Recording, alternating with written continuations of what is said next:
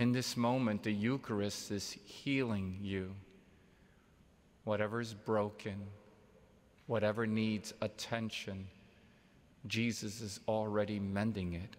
You just need to believe. The love of God has been poured into your hearts. He is consuming you as you consumed Him. He's filling you with mercy. He's given you pardon, forgiveness, and He's given you peace. This is Eucharistic love.